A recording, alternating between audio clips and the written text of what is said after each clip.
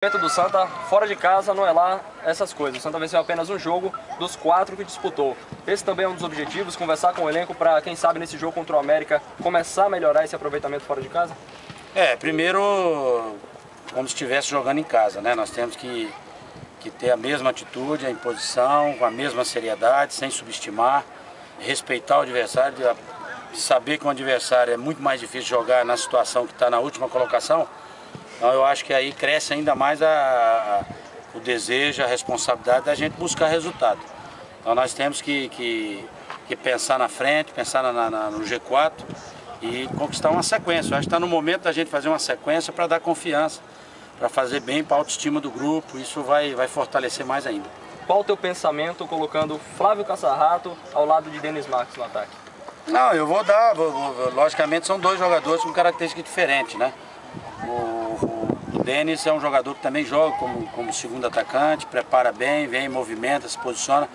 E o Flávio é mais um jogador batalhador, de, de velocidade, de força. Então, eu acho que é a primeira vez que nós vamos utilizar os dois e vamos torcer para que, que dê certo, né? E, e vamos colocar dois homens que, que também têm velocidade, têm mobilidade e com certeza vai dar trabalho.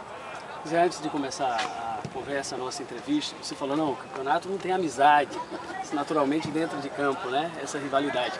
Como você classifica o campeonato pernambucano dessa tua vivência em outros estaduais?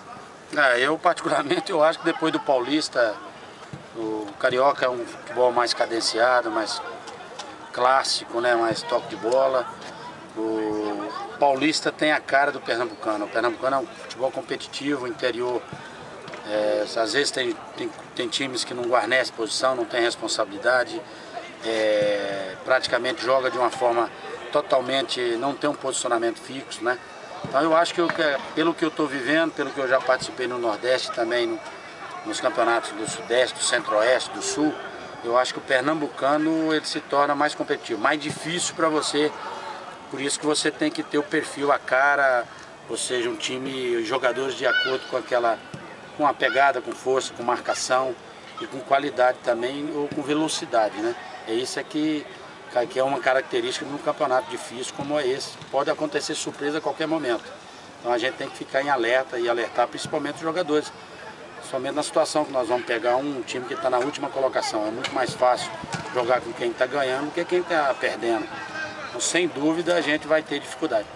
O fato de eh, Wesley e Carlinhos Bala talvez não 100%, mas teoricamente poderiam reunir condições de ir para algum jogo com o América. Significa que você já quer los inteiro para o clássico?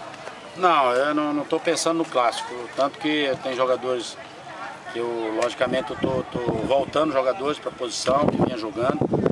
E o clássico é uma situação que nós vamos viver depois do jogo do América. Eu acho que nós temos que preocupar em, em buscar fazer três pontos.